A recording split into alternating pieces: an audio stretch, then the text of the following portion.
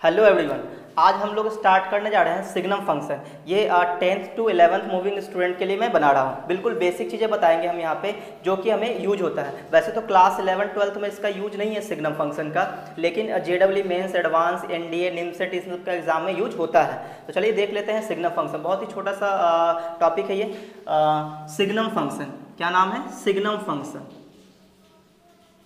Signum function तो आइए देखते हैं सिग्नम फ़ंक्शन क्या करता है। जैसे कि हम लोग पिछले वीडियो में हम लोग क्या क्या देख चुके हैं? मॉडलक्स फ़ंक्शन देख चुके हैं ग्रेटेस्ट इंटीजर फ़ंक्शन देख चुके हैं फ्रैक्शनल पार्ट ऑफ़ एक्स देख चुके हैं।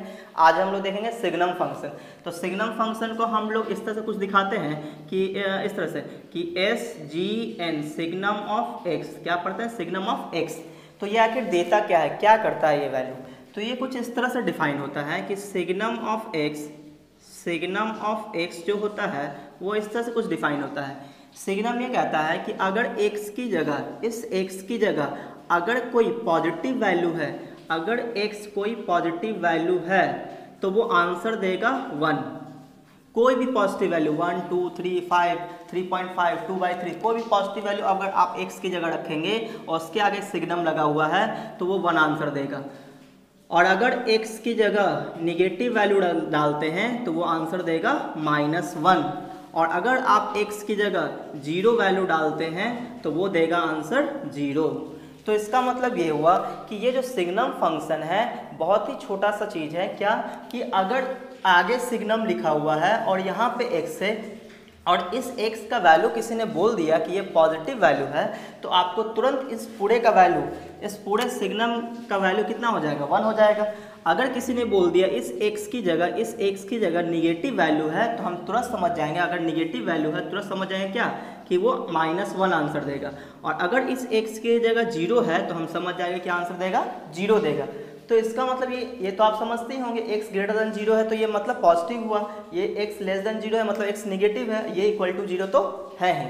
अब हम आपको कुछ एग्ज़ाम्पल दिखा देते हैं। जैसे मान लो कि हमने ये दे दिया कि signum of signum of two तो सिग्नम ऑफ़ टू आ रहा है, इसका मतलब क्या हुआ? Two is a positive number तो अगर ये पॉजिटिव नंबर है तो आंसर क्या देगा? अगर एक्स पॉजिटिव हुआ तो आंसर देगा ये वन तो इसका आंसर आ जाएगा वन जैसे हम बोल दें सिग्नम ऑफ़ सिग्नम ऑफ़ क्या बोल देते हैं? थ्री थ्री पॉइंट टू तो थ्री पॉइंट टू भी क्या है? एक पॉजिटिव नंबर है तो आंसर क्या दे देगा? वन जैसे कुछ और ले लेते हैं सिग्नम ऑफ़ ले लेते हैं एक्स स्क्वायर ले लेते हैं सिग्नम ऑफ़ एक्स स्क्वायर तो हम लोग ये जानते हैं कि एक्स स्क्वायर तो हमेशा पॉजिटिव नंबर देगा एक्स के जगह हम कोई भी रियल वैल्यू डालेंगे एक्स स्क्वायर क्या करेगा? पॉजिटिव वैल्यू देगा। तो इसका मतलब ये हुआ, ये कन्फर्म है, जबकि एक्स का एग्जैक्ट वैल्यू हमको नहीं पता है, लेकिन फिर भी हम ये जानते हैं कि एक्स के जगह हम कोई भी रियल वैल्यू यहाँ पर रखेंगे और उसका जो स्क्वायर करेंगे तो वो हमेशा पॉजिटिव ही होगा। तो ये कन्फर्म करता है कि ये पॉजिटिव नंबर है। तो इसका आंसर क्या आ जाएगा? वन आ जाएगा।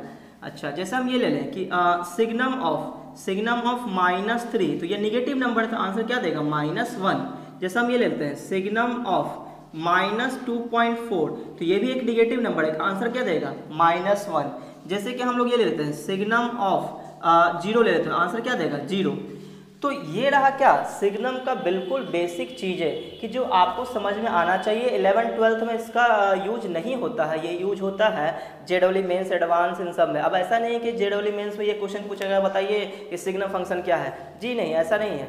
वहाँ पे क्वेश्चन बनाने के दौरान यूज़ होगा ये सिग्नम फ़ंक्शन तो आपको ये वर्ड उससे डील करना आना चाहिए कि सिग्नम का मतलब क्या होता है। अगर उसके पैरामीटर में पॉजिटिव है तो ये पूरा का पूरा आंसर देगा वन अगर निगेटिव है तो माइनस वन अगर ज़ीरो है तो ज़ीरो अब हम ये देखते हैं कि x का वैल्यू तो हम यहाँ पे कोई भी रियल नंबर ले सकते हैं। x पॉजिटिव भी हो सकता है, x निगेटिव भी हो सकता है, x ज़ीरो भी हो सकता है। यानी यहाँ पे जो वैल्यू है, वो क्या हो सकता है? कोई भी रियल नंबर हो सकता है पॉजिटिव निगेटिव ज़ीरो हो सकता है। तो हम क्या बोलेंगे कि ओवरऑल हम हम लोग ये देखते हैं कि जो सिग्नम फ़ंक्शन है, उसमें जो x होता है, वो बिलोंग्स टू आर ये बिलोंग्स टू का सिंबल होता है। मतलब x जो है, किसी भी रियल नंबर को बिलोंग करेगा। लेकिन जो पूरा का पूरा सिग्नम फ़ंक्शन है सिग्नम फ़ंक्शन ये जो वैल्यू देगा, वो तीन ही वैल्यू देगा। सिग्नम ऑफ़ एक्स जो है, वो तीन ही वैल्यू देता है। कौन कौन? एक देता है माइनस वन एक देता है ज़ीरो एक देता है वन तो हम लोग ये कह सकते हैं कि अच्छा मतलब एक्स के जगह हम कुछ भी रखेंगे सिग्नम सिर्फ़ तीन ही वैल्यू देगा। या तो माइनस वन देगा, या तो ज़ीरो देगा, या तो वन देगा। बस, इसके अलावा कोई आंसर ये नहीं देता है। हाँ एक्स की जगह हम कुछ भी यहाँ पे रख सकते हैं। कोई भी रियल नंबर हम यहाँ पे रख सकते हैं। वो बस ये तीन ही वैल्यू देगा। तो एक्स का जो वैल्यू होता है, जिसको हम यहाँ पे रख सकते हैं, उसको बोलते हैं डोमेन यानी सिग्नम का डोमेन हो गया आर एनी रियल नंबर और जो डोमेन के कॉरस्पॉन्डिंग जो वैल्यूज़ आता है, उसको बोलते हैं रेंज तो इसका मतलब सिग्नम फ़ंक्शन का जो रेंज होगा, वो तीन नंबर होगा, तीन पर्टिकुलर नंबर इसलिए हम उसको कर्ली ब्रैकेट में लिखे हैं कर्ली ब्रैकेट में लिखने का मतलब होता है, सिर्फ़ माइनस वन बोल रहे हैं ज़ीरो बोल रहे हैं वन बोल रहे हैं. इसके सिवा छोड़ के कोई भी नंबर नहीं.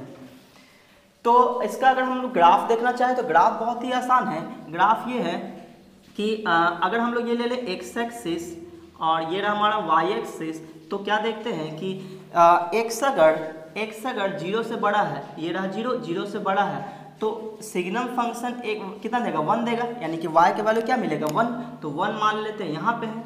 तो x का वैल्यू ज़ीरो ज़ीरो से बड़ा लेते हैं तो y का वैल्यू वन मिलेगा। तो y बराबर वन कैसा लाइन होता है? ये रहा लाइन तो इधर हम क्यों नहीं खींच रहे हैं? क्योंकि x क्या है? इधर निगेटिव है। हमें x पॉजिटिव के लिए ही वन दिखाना है। और ये रहा यहाँ माइनस वन तो अगर x निगेटिव हुआ तो y कितना देगा? माइनस वन यानी कि माइनस वन को यहाँ पे लिख लेते ये रहा माइनस वन तो ग्राफ इस साइड आएगा क्योंकि x हम लोग निगेटिव ले रहे हैं। और ज़ीरो पे तो ज़ीरो वैल्यू देगा, यानी कि ज़ीरो पे ये रहा ज़ीरो तो ये हो गया इसका ग्राफ ये किसका ग्राफ है? ये graph of graph of signum of x तो सिग्नम ऑफ़ एक्स का ये ग्राफ हो गया। तो ये इसका use J W mains advance Indian INSAT में होता है इलेवन ट्वेल्थ में यूज़ नहीं होता है।